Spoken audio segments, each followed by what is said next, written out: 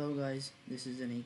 This video is about how to attempt your long answers of elective subjects like history, geography, Pakistan studies and Islamic studies. You have already studied these subjects in school and colleges, maybe in national language like Urdu or Hindi.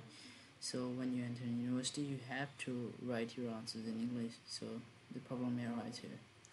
So let's start I have not written subjective type here because in university it's not compulsion so it's up to you you can write or not so right uh, mainly long answers are asked in university not short answers. They are in college and schools so you can just watch my previous videos to check out how to write short answers. They are similar for other subjects. In long answers mainly you have to make headings headings as many as you can. You can't make a whole bunch of paragraphs. So without heading your answer is improper not appropriate.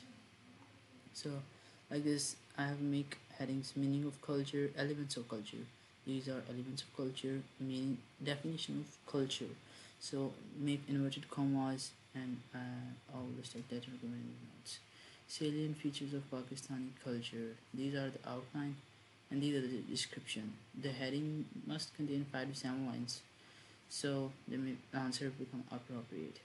7. I make 9 headings with uh, subheadings also. These are just make bullets or points whatever you want to explain or before heading also.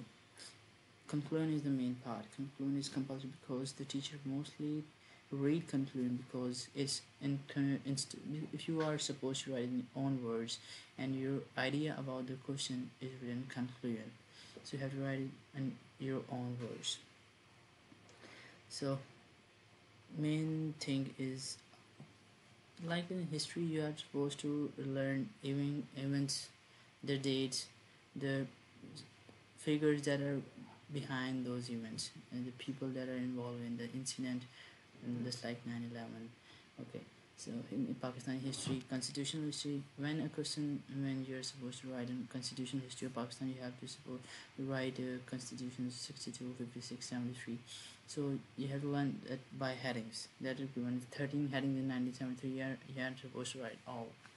So in uh, in history you are supposed to write uh, background also. Background uh, that contain uh, dates also and the name of the leaders yeah, etc so hope so. You just you can just look, watch my uh, watch my page for to get the stuff of these videos. So thank you for watching the video guys